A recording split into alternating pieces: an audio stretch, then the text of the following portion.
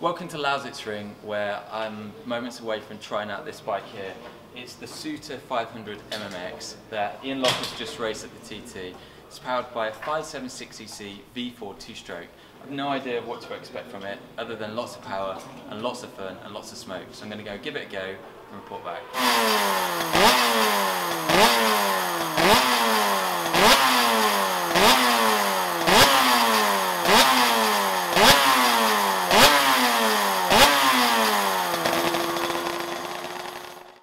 So I guess the only way to describe today is that it's been a, a, real education. I've never ridden a motorcycle quite like this before, and it's probably I never will again, but I've really, really enjoyed myself. Um, my first few laps on the Suter were actually quite challenging.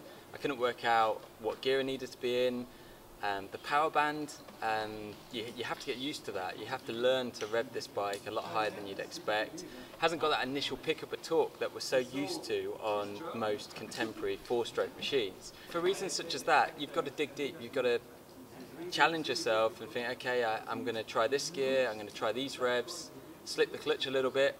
And the more laps I did, the more that all came together.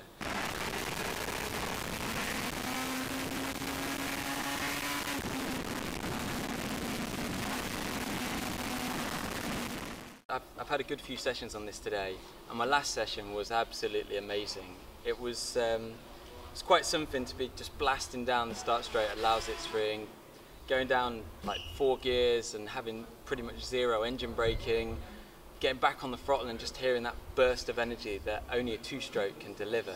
Um, it's, it's been a real, real experience, and uh, yeah, I'm, I'm pretty much blown away, as you can probably tell. So aside from the engine, which is just mind-blowing. So, so powerful, especially when you've got it on the boil, it just wants to pull and pull and pull and pull, and you just get through gears like there's no tomorrow, it's crazy. Um, but aside from the engine, the best quality to this bike has to be the handling. It's such a lightweight machine, it's less than 130 kilograms, and you can really feel that out on track. It's also really, really stable, and um, you know, if you want to pull a tighter line, you can without you know having to try too hard, which is which is pretty awesome. Like I say, it's been a, a real education. It's been a real privilege, and um, yeah, there are going to be 99 of these for sale. Uh, hopefully, in the next year or two, you'll be able to go and get one.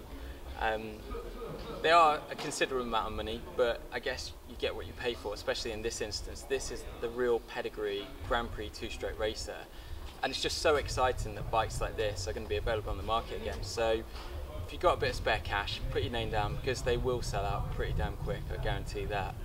And you don't want to miss out.